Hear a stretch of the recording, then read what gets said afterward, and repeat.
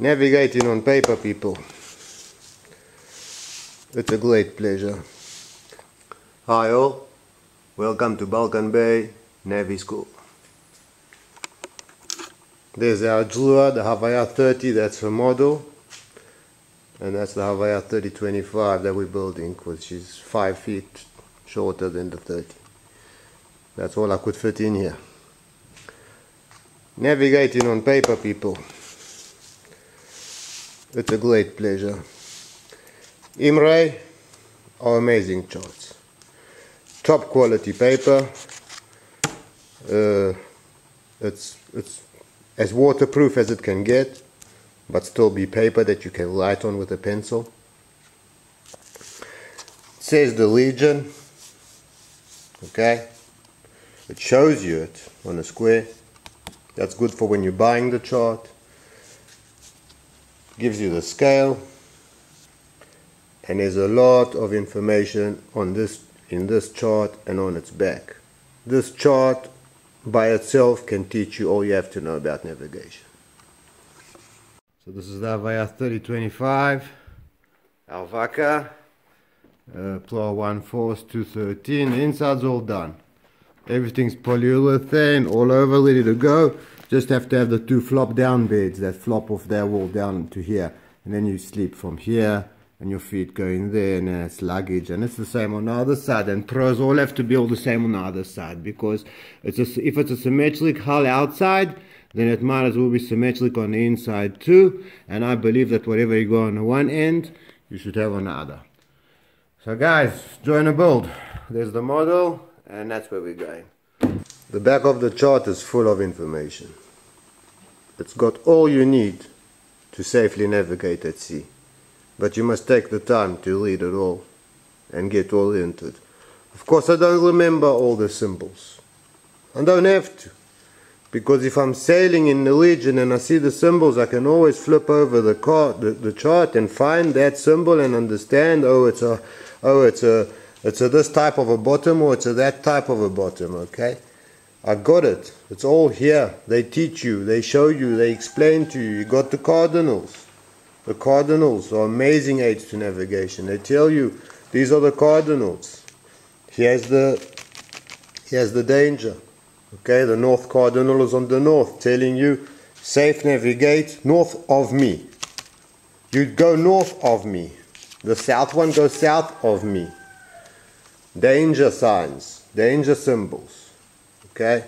You see something at sea, you see a buoy, if you don't know what that buoy is, you can get in shit and you, can, you should run away from it. First thing is run away from it. When you see something at sea, keep as far as you can from it.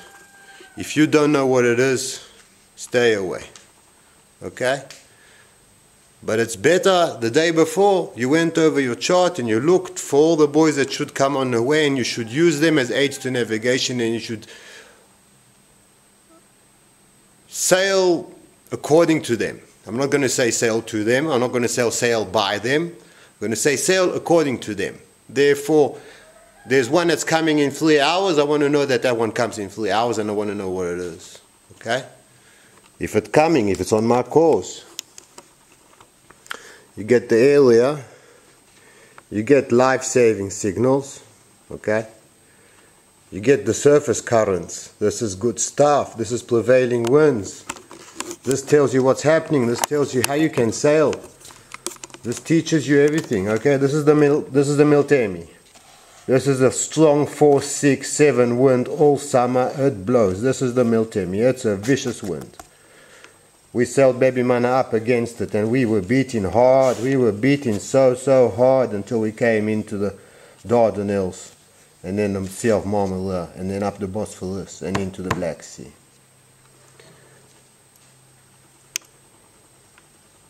You get glossary, okay? It's translating words for the area that you're in. It's giving you, it's giving you, it's, it's a Google translator. It's giving you the important words. You got small craft symbols, okay? You got all the little stuff, you know, that you, you'll find on the chart. You, you have abbreviations all the letters, if there's letters all over the place and you don't understand what do these letters mean, building, uh, beacon, uh, and so on and so forth. Every light on the chart has letters next to it. Okay? What do those letters mean? Let's say you go on F, so that's a fixed light. Okay? Let's say you go on FL, it's a flashing light. Let's say you go to Q, okay? It's a quick flashing constantly, okay?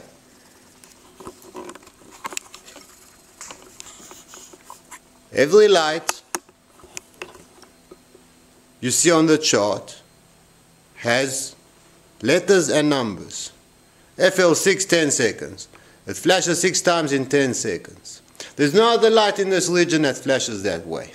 Okay, it might tell you the color, it might tell you more information, it will tell you the height, it will tell you how many miles away. But what you can do is now, you can find that light and you can find that light where it is to you. You only need one. If you find where it is to you, you got a fix, my friend. A learning fix. You can do it, there's many ways to do a learning fix. You need only one object and you're set, you're fixed, you know your position, finished. Amazing stuff and a great pleasure. Give you the Beaufort scale so you can know if you're listening to radio and you're listening to uh, weather forecast okay on the radio. So you'll share the Beaufort scale and then you can check out what is what is a force 4. That's a Beaufort 4, okay. Gives you the bottoms gives you all the types of bottom and all the type of cliff and all the type of stuff and all the type of elevations and all the type of is it above water? Is it underwater when is it coming out? When is it not coming out? Is it tidal? Is it not tidal? You get everything you want. It's all here on the back. You don't need nothing more than this okay?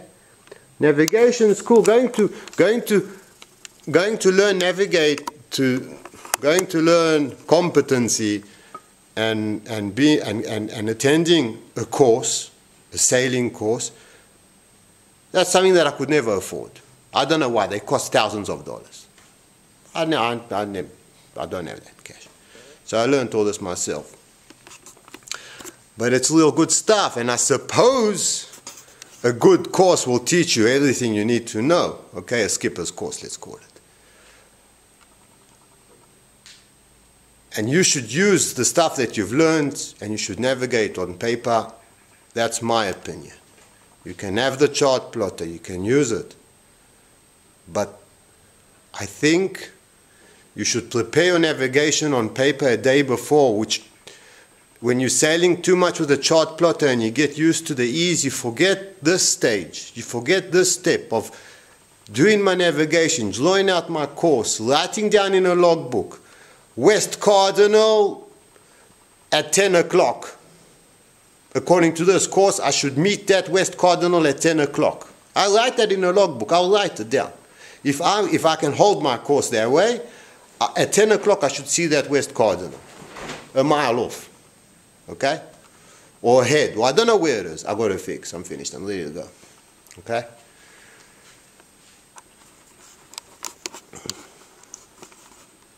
So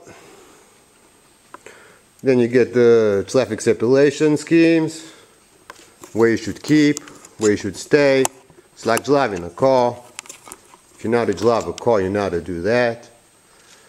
And basically, amazing, amazing charts with so much info, everything you need. You just got to take the time to go over it, take the time to learn it the beautiful side of the chart, the top side. So at the top it will tell you the region, okay, so this is the Aegean Sea, northern part, who made it, okay. And then you get small sections blown up. These are small bays or ports or important places so they give them to you with more detail. This is this helps a lot these little squares. I like them. The more they are the better it is. Three compass roses on this one I don't like using the land compass rose because it mixes me up. I like the sea ones. It's not always possible. Sometimes the chart is in such a way that the compass rose will be on land and you'll have to deal with it but it's okay. We can do that too. So we got our latitude and we got our longitude. Latitude, I use all the time to find how many nautical miles I have traveled. Because every minute is a mile, and there's 60 minutes to a degree. So, with that, I just open it up on five miles, and I can walk my course four times, and I've done 20 miles. Piece of cake, you know. That's that's an estimated position already. Already you know where you are. The most important thing about navigating is knowing where you are not. Not as much where you are, because if there's a lock over here and I'm sure I'm not there, then I'm good. It's enough. I'm somewhere here and I'm going that way, but that lock, I know I'm not on him. These are the navigation tools I use. I have parallel rulers, the ones that wiggle away. I have 60-30 triangles. I use, I walk them along. But even two 90 degree triangles are good.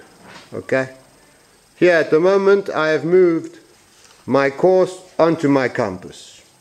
Here's my compass lows. This, this small square is going right through the middle. Yeah?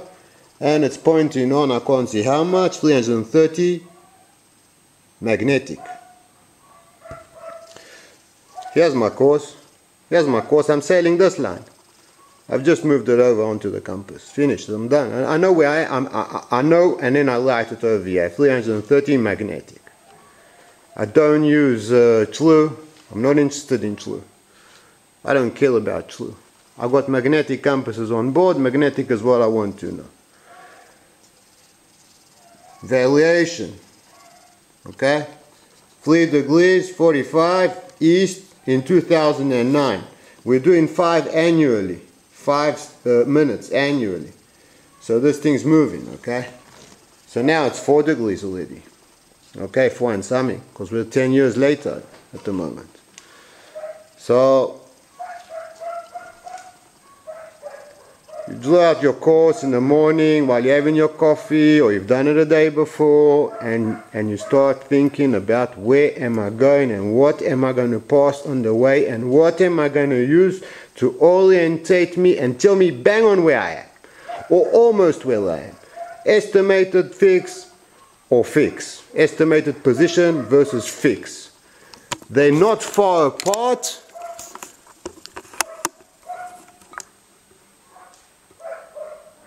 I use estimated positions all the way because I'm calculating stuff and I'm doing my calculations and stuff.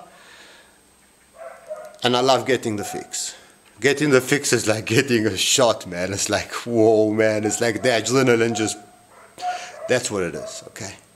That's what it is, finding your position. And knowing I'm here for sure.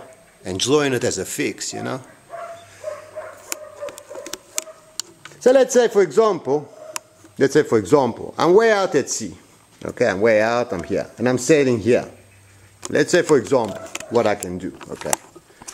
This is the beauty of it's just trigonometry, and you don't have to be smart, you don't have to be brilliant, you don't have to be anything. You just have to use your common sense and find ways to do stuff to find where you are. So you're setting this way, yeah, and you got a light over here on the chart, and it says I have to close in on him, and it says FL10S 42 small m 6 big M. Okay, hope you guys can see. Okay. So it's this light over here. I can't see through my screen anymore guys so I'm sorry. Sometimes I'll be missing the thing with my finger because I just can't see the screen uh, got busted. So I got that one and I said to him okay you flashing 10 seconds yeah? So you I, I can't see him. Okay I found him so I got my light and it's a flashing 10 seconds. It's a flash 10 seconds, okay? So it's one time, yeah, in 10 seconds, one flash every 10 seconds. He's 42 meters high and he shines 6 miles away. Perfect, thank you very much. I don't need more than that. I take my compass. Here's 6 miles. From 50 to 56 open my compass on 56 and I can just make a circle okay I'm coming down. When I see you, I'm in that. I'm in. Now, of course, you have to calculate how high are you above sea level and all kinds of stuff. Are you standing on a very tall ship or are you close to sea level? Now, because I'm sailing close, I'm almost underwater, so it's okay. It's all good. It's very close. Doesn't matter. It's not important because it's only an estimated position. But I have come into the circle on course. I'm roughly know where I am. I'm roughly very know much very good where I am. Because now I can maybe get a running fix of something else, or I can just keep on sailing to him. Doesn't matter. Because I know roughly where I am. I'm roughly good. When I get close, I'll think about it. I'll start orientating even better, okay? I'll start looking at the land. Let's say it was night time, so, so I might hang out, I might heave to for, for until sun comes up, and now, and now I'm, I'm sailing over here, and I just moved to here because I can see over here better what I'm doing. And I'll look at the topography, okay? The, the, the, chart is so brilliant that it doesn't tell you only what's happening in sea, except for telling you depths. So if you have a depth sounder, that's another way to navigate. You can know where you are according to the depth under you. That's So you're in the circle of this light, you're in the circle, and a depth is so much. That's And you're on course this much. You, you, you're on a fix, man. Because you got a bearing to him and you're in the circle and a depth under you is so much, it's a fix. It's a fix. You're fixed, man. So you're 200 meters to here or to there, it doesn't matter. It's not a problem. It Doesn't matter. You're fixed. Don't need an electronic gauge to tell you everything. You can use it. I've used a lot of GPSs. People, I'm not, I'm not saying I don't use GPS, but I've never had a chart plotter. I've never had a chart plotter. I've always had to a, a work off paper because the GPSs that I have had were very old and they only had a few numbers. They would tell you a bunch of numbers and stuff. So you would have to find latitude, longitude, okay? And then you could find where you are according to the GPS. But I've always worked off paper and I've tried to switch on a GPS as least as possible and make my destination without switching a thing on even once. And in coastal navigation, that's how I've been doing it. And it's been a lot of fun. May the force be with me next year, 22, with the Avaya 3025. We do ocean sailing. We go offshore. We go into the unknown. This doesn't work anymore, my friend. Nothing works. You need a sextant now. You, within 24 hours, you really don't know where you are. You're lost. You can have a very good deviation chart of your compass. You can have a very good one, but even that's not enough. You need a sextant. You need to find your way. So let's, let's do that next year. But at the moment, that's what I've been doing. And from England to here, I've done this all the way. And it's, it's given me a lot of confidence. My logbooks also got a lot of good stories inside, you know. What a great pleasure. What a, it's so much fun. I mean, people that will, people, it's, it's like, let's, let's go back in time a little bit. We're running, we're running too fast. We've, we've got lost in the run we, we're lost. We need our phones all the time to tell us where we are, where we're going, what we're doing, what, what time do we have to meet him, what time is she coming, when did I say, what do I have to buy, where am I going to buy it, hey, where is it, tell me where it is, oh, you have to turn right, turn left, go back, go back, go back, go back, go back, over. She doesn't stop saying go back until you turn the car around.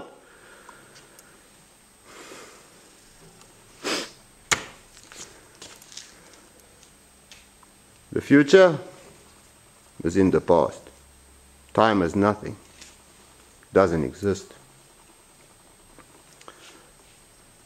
Working of paper is a pleasure and a confidence builder and experience that no electronic gadget can give you. So, people, the time has come. Let's make the change. Let's let's start let's start let's start working like the like the navigators of of once upon a time, you know, of guys that went to sea, of seamen, of little seamen, hardcore, the little thing, you know. Welcome to male dominancy art poetry people. This is our channel. Find us on YouTube, Facebook, Balkan Shipyards on Facebook. There's Balkan Bay. We're going to do eight serious navigation mistakes that I've done over the years. Since I've learned how to sail by myself because I couldn't afford the course and I messed up so big. So, so big. So I hang out in Bucky Bucks. This is Tsalevo Bay. This is my, this is my uh, in South Bulgaria where I came to with baby Mana in 2011 from England. I parked her here and then I sold her. Today she's at Sozopol and I started building proas. This is proa number four. This is uh, this is one force 213 because I believe that 13 is the most luckiest number there is and I'm going 213 so 2 1 3 213 that's my Ama of make or break. He's my third pro. Very good boat. So strong and so capable and so seaworthy. It's a junk rigged pro. It's got the Leshank. That's our Balkan shipyards shunting junk. Uh, I invented it two or three years ago, I don't remember. After pro number one and two were complete disasters. They frightened me and Genia to death. I've got frightened a lot at sea. I respect the sea so much because the force is so strong. You don't imagine the strength of the force until the force teaches you a lesson. We almost lost Chip quite a few times, and this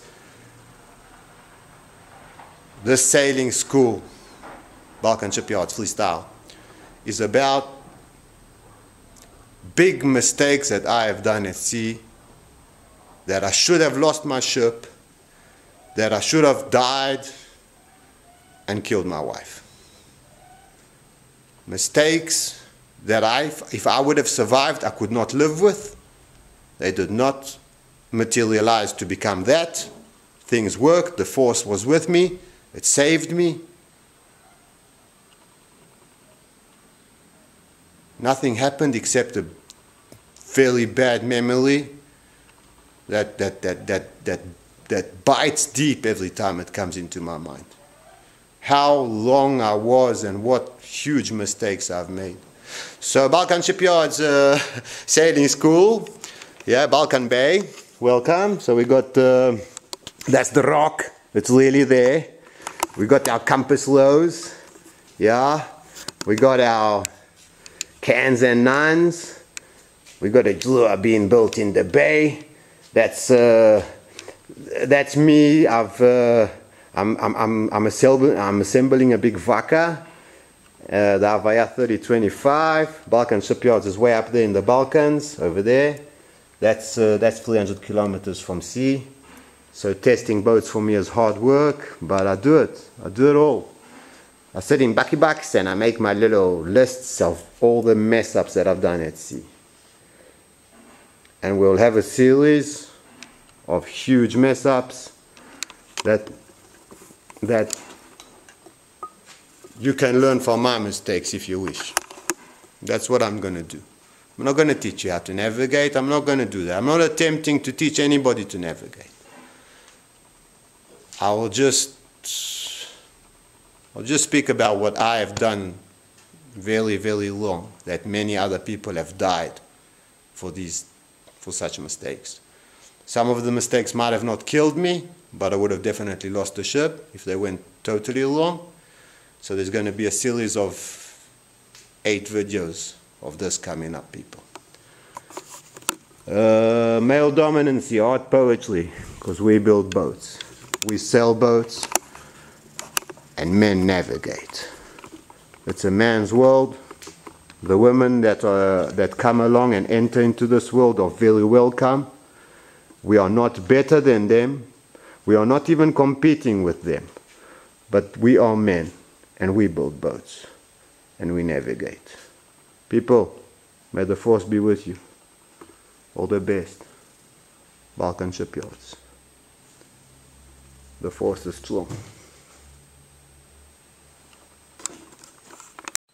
Port of Tsalevo, 11 in the morning. As a big vaka sails out, hard on it. I'm sitting high and July. As one hand puts my coffee down. The second raises my tobacco pipe gently to my lips. The sweet smelling tobacco gets dragged in as it flows over my tongue. My tongue craves for the nicotine that immediately bonds to the caffeine and the yin yang starts the day. A cool breeze slides down the cliff as it heads out to sea. Balkan Bay comes to life as Port Tsarevo shifts into gear. At Bucky Bucks, the espresso machine dominates the new day. As the barman knocks the old coffee out, the same double tap. Again, that perfect double tap. A tack tack, tack tack fills the air. Once more, the fine looking Italian machine rumbles away as it injects high pressure steam through fleshly smelling ground coffee. The pelican, Mek Mek, spreads his wings as he warms his back in the morning sun. Mek Mek spent his life on the rock. The rock is Mek Mek's little planet. The rock is strong, but it too is getting old. Hi guys, uh, I'm Rael, president of Balkan Shipyards. Next year we're going shunting and we're going shunting big time.